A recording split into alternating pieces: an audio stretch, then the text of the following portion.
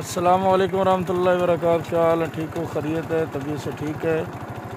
अच्छा सर्दी आज साढ़े को तकरीबन तीन तरीक है तो पहला महीना है दो हज़ार तेई चल रहा है तो साढ़े को धुंध का राज चल रहा है धुंध साढ़े इलाके बड़ी ज़्यादा है तो वह असं तुम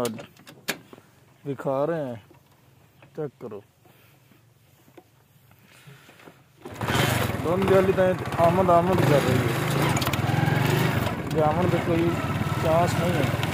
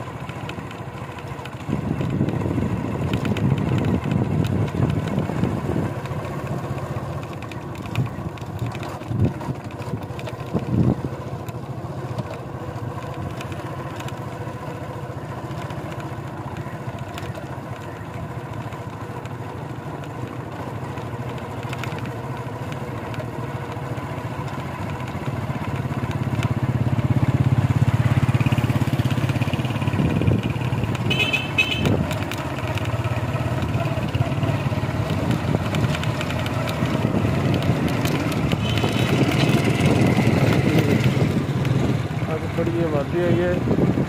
दोन कामं होईल अल्लाह धुंध दिलं सर दोन देही दोन हर दोन देही दोन